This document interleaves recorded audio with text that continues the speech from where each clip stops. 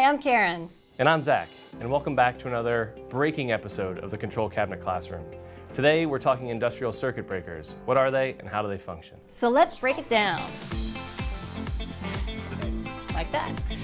Okay, so everyone basically knows what a circuit breaker is, right? There's a whole panel full of them in your house that looks like this.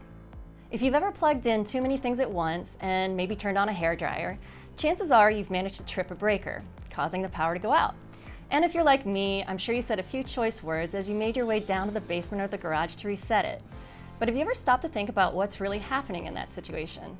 The breakers in your house trip when a circuit is overloaded or there's too much current, so that everything you have plugged into that circuit doesn't get damaged and the wires won't burn up. Just like the breakers in your house, industrial circuit breakers are designed to protect the wiring and equipment they're connected to in the event of an overload. Here are some examples of industrial circuit breakers. Like I said, they're similar to the breakers in your house, but as you can see, there are some differences. For examples, these are DIN rail mounted, which means that they can sit on an industrial control cabinet. But more importantly, they have several trip profiles or trip curves in relation to time and current, and each has a distinct mechanical characteristics. So to start, there are lots of different types of circuit breakers, but in the interest of time, we're going to focus on the three most common types used in industrial applications. Number one, thermal breakers, which like their name suggests, are tripped by excessive heat. Number two, thermomagnetic breakers, which are tripped by heat and electromagnetism. And three, electronic breakers, which can be configured to trip at a very precise current level. The key takeaway is that each type has a slightly different response, so they are used to protect different things. Hang on, Karen. Let's take a break from what we're talking about to talk about overloads. I see what you did. Yeah, thanks. Thought that up myself. Overloads can be short-term or long-term, and the breaker used to protect a device should be chosen appropriately. Some equipment, like a large motor, has a high inrush current when started. You don't want to use a sensitive breaker in this case because it's too fast and will trip every time you start up. This phenomenon is called nuisance tripping. So how exactly do these breakers work? Well, let's start with thermal because they're the easiest to understand. As their name suggests, thermal breakers respond to heat. And of course, as we all know, current generates heat. So these breakers are, have a slower trip curve because it takes a little while for heat to build up. So they are ideal for using on large motors, transformers, solenoids, anything with a very high inrush current. Inside these breakers, there is a small piece of metal called a bimetallic strip that expands when it gets hot. This expansion then causes an internal switch to flip, which essentially disconnects the circuit or breaks it. Hence the name circuit breaker. So now that you know that, Zach, you can use that as an icebreaker at your next party. Why do you think I have so many friends, Karen? So after the overload is cleared, the metal strip cools back down and the breaker can be reset, like this.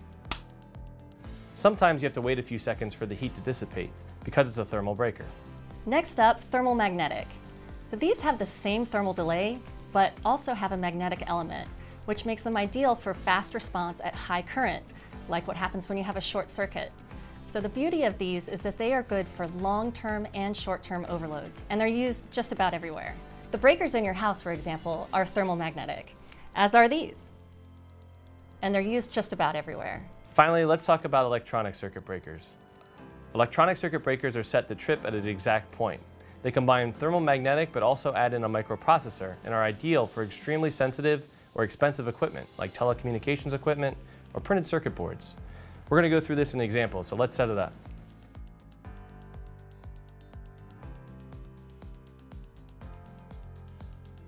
All right, Karen, why don't you show us how this works? So here we have a, a, demo case with several different types of electronic breakers installed and wired up.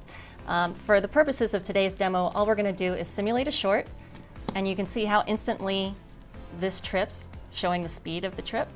And it also gives you indication that something is wrong. So once you reset the short, all you have to do is press this button and the circuit breaker is reset. And you can instantly see, not only on the breaker, but remotely, that it's protecting the circuit again. Excellent. Thanks, Karen. Let's put this away. So, as you can see, there are lots of advantages to using electronic breakers, including the remote monitoring we just looked at. There are disadvantages too, though, mainly cost, because those microprocessors do add a little bit to the bottom line. And because they are so sensitive, they must be strategically placed in order to avoid nuisance tripping. So let's recap. A circuit breaker is essentially a switch that activates when there's too much current. There are three main types used in industry, thermal, thermal magnetic, and electronic. They're all used to protect different things, but they must be used appropriately or very, very bad things could happen. So that's it. I don't know about you guys, but we're ready for a break. So before you go, please give us a big old thumbs up, smash that subscribe button so you catch all our new videos, and we'll see you next time.